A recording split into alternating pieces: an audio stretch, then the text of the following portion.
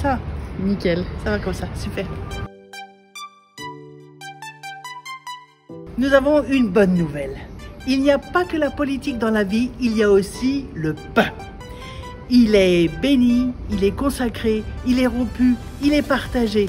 Et vous verrez que dans les églises orientales, le pain eucharistique, c'est une vraie nourriture.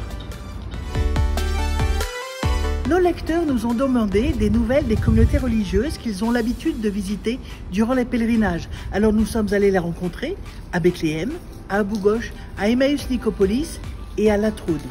Vous savez quoi? Ils attendent le retour des pèlerinages, ils vous attendent.